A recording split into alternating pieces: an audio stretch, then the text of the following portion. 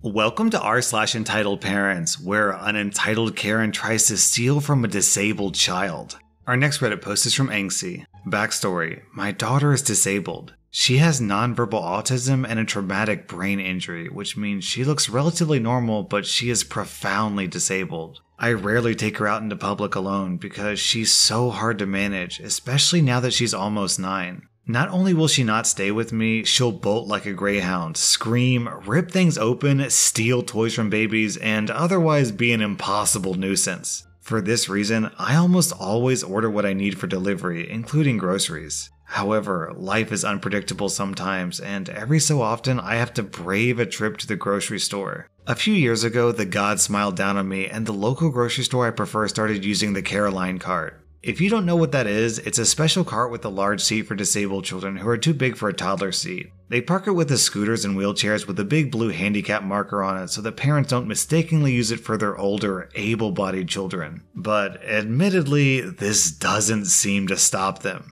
I see people using it all the time, like one of the car carts. You know, carts with a toy car attached for their kid to drive while they shop. This particular day a few weeks ago, the snow was so heavy and intense that not only was school canceled, but so was my grocery delivery. I would have to go to the store with my daughter. As usual, I walked in praying that the Caroline cart would be available, and thank goodness it was. Strapping my daughter into the seat, I started shopping. As usual, my first stop was the bakery to get a fresh cookie. They always hand them out to the kids. I noticed right away that there were a lot of other kids there that day and assumed that many parents were like me, saddled with their kids during the snow day and unable to get grocery delivery. The bakery was hopping, and there were a number of parents and kids waiting for a new batch of cookies to be ready. One of the mothers seemed particularly harried, and I can't say I blamed her. Her daughter, around five, was having a meltdown. She was angry, crying, shouting, and demanding a cookie.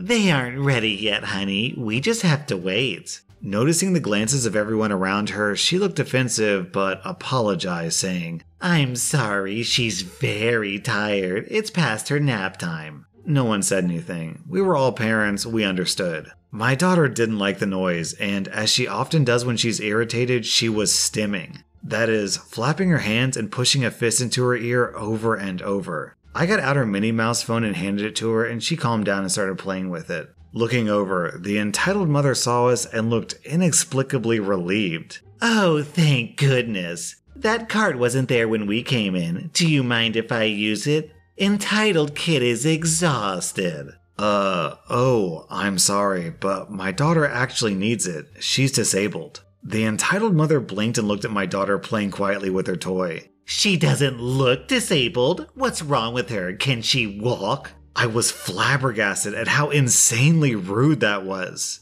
Uh, yes, she can walk, but she would run off in a hot second. I can't hang on to her and shop at the same time. So, you're using the disabled cart because your daughter doesn't listen to you? Look, she's much older than my little girl and she seems fine. We really need the cart. She started coming over and I protectively pulled the cart closer to me. Um, no, she has autism. Jesus, everyone has autism. That's not a real disability. I was pretty pissed at this point. The cart is for disabled children, like you just said, not sleepy children. Why don't you use a car cart? There aren't any car carts. Besides, I can't see her in that. Just let me use your cart. The shouting upset my daughter again, and she started doing the thing where she punches her ear over and over. It was the first time she looked abnormal, and the woman looked visibly distraught and sort of grossed out. By now, other people were paying more attention, and this wonderful older woman said, Ma'am, autism can be a very severe disability. Look, you're upsetting the little girl, and the card is for disabled children. You need to stop now.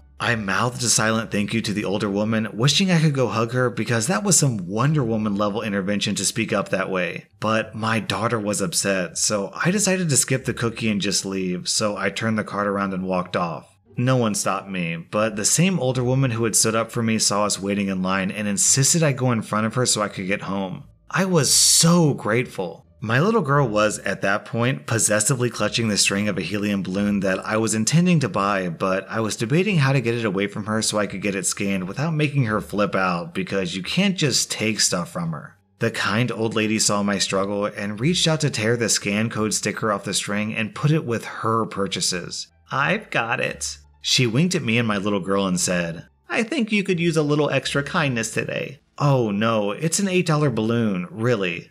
I insist. I thanked her profusely and left with tears in my eyes, touched. I love it when people make my day a little easier. Man, when are people gonna learn that not all disabilities are visible? And this lady saying that autism isn't a real disability and that everyone has it is super disgusting. I really wish we had less people like this entitled mother in the world and more people like that grandmother.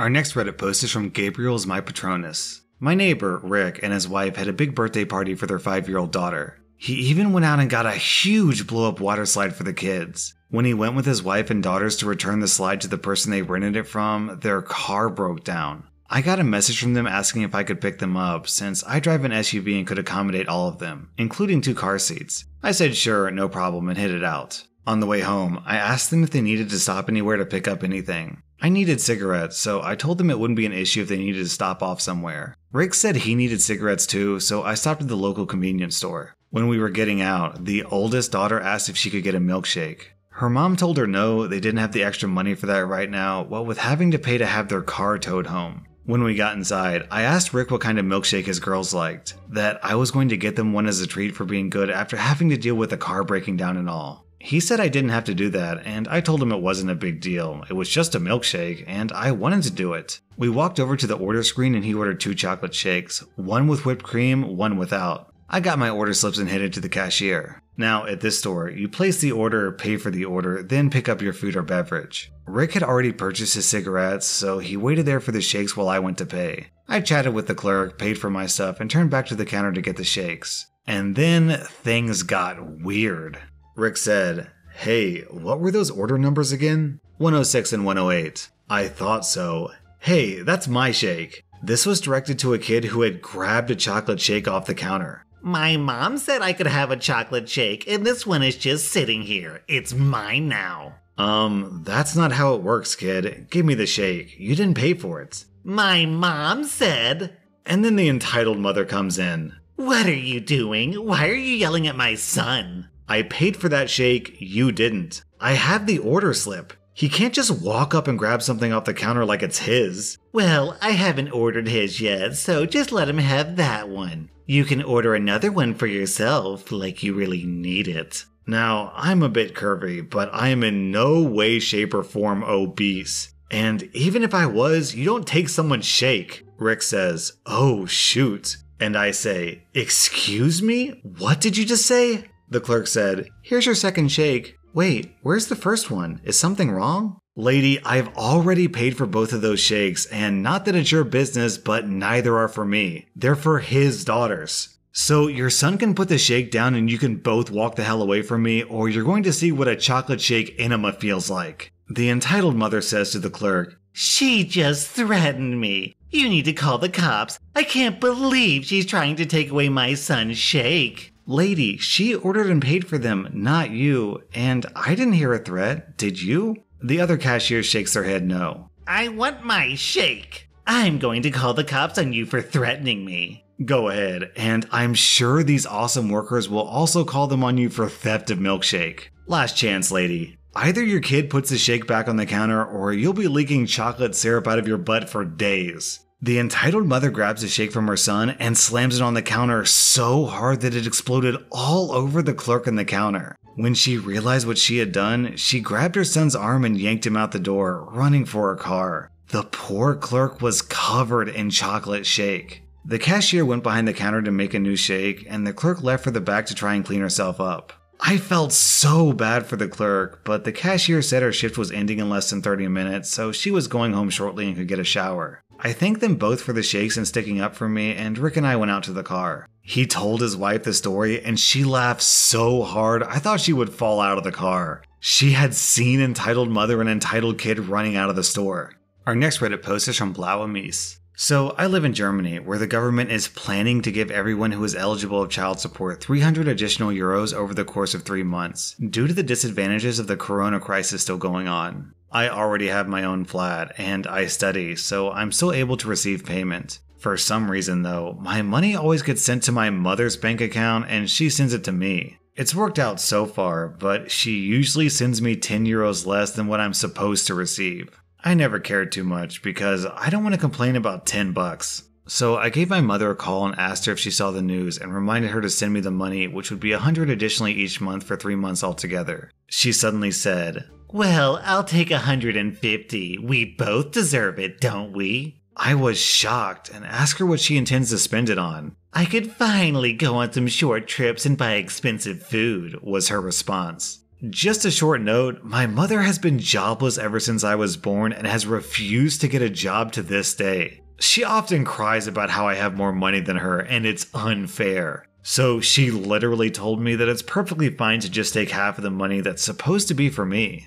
OP, I've read a lot of stories like this, and you need to go to the bank ASAP and open an account in your own name. And just a suggestion, I think that you should run a credit check because I wouldn't be surprised if she's opening bills in your name. If she's petty enough to steal $10 from her own kid, who knows what else she's doing?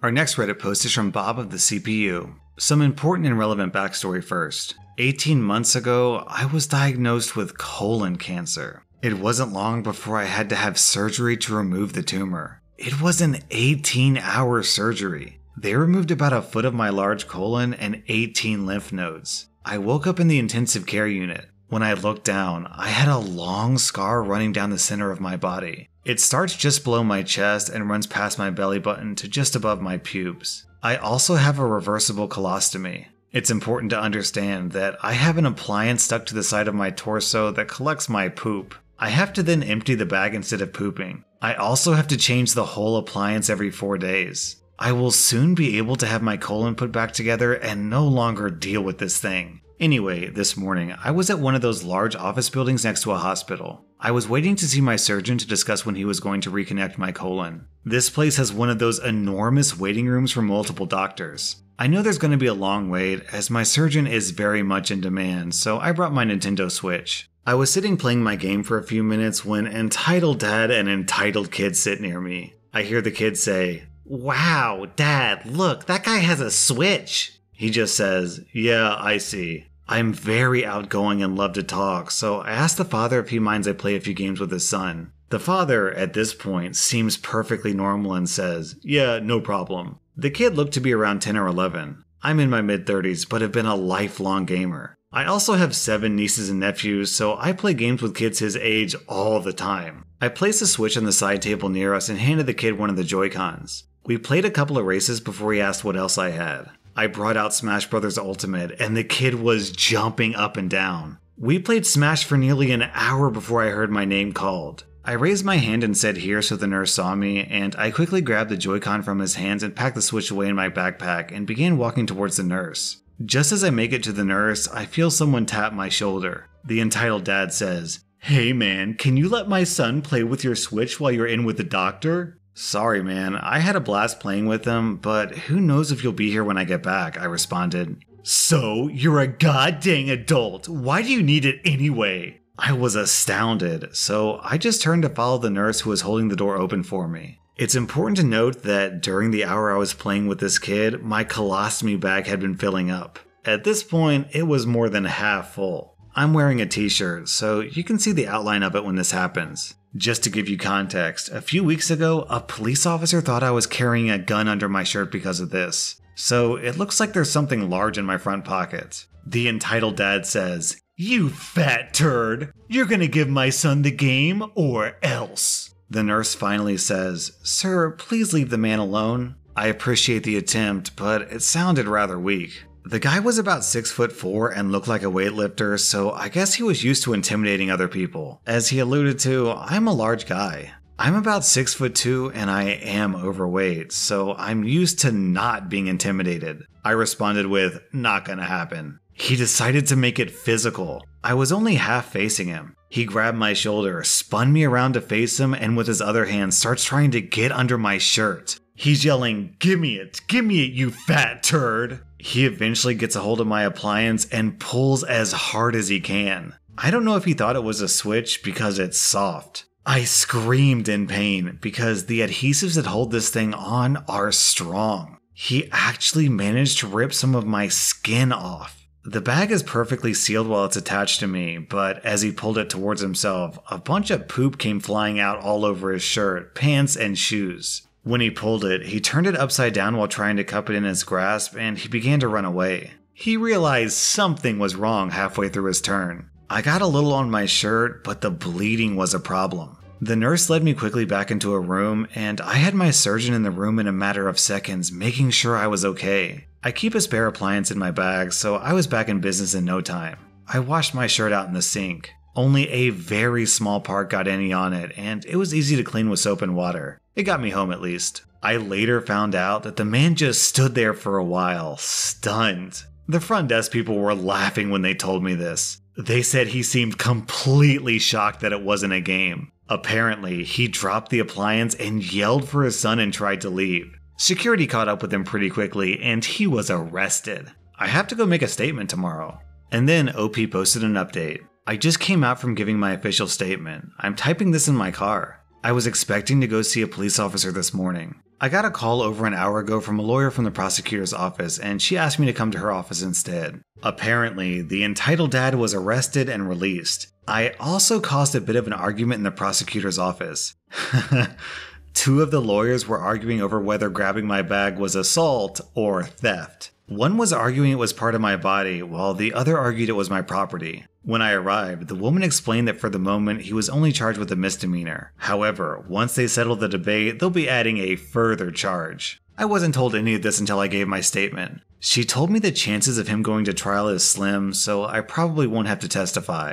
Oh, and I had no say in whether he was prosecuted. He was being prosecuted whether or not I gave a statement because of all the witnesses. So, OP, if this guy gets charged with theft, then he is literally a turd burglar. That was r slash entitled parents, and if you like this video, then check out my podcast where I publish the exact same content. Also, hit that subscribe button because I put out new Reddit videos every single day.